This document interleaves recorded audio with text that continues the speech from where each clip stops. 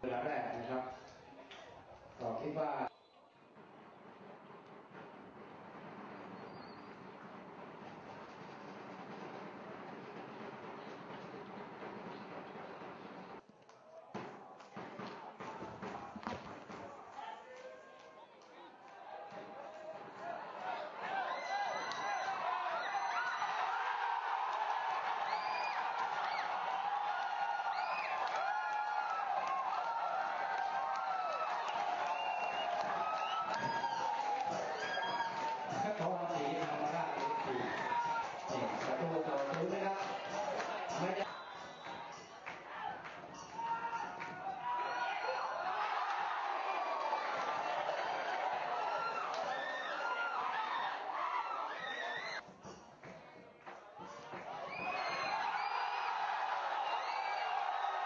เรียบร้อยครับลูกนี้โอ้ทั้งเรื่องมาเสียงานมากนะครับ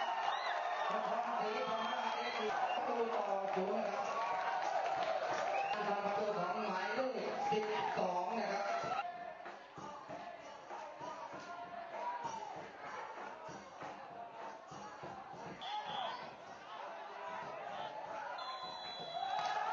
หมดเวลาการแข่งขันในครึ่งเวลานะครับ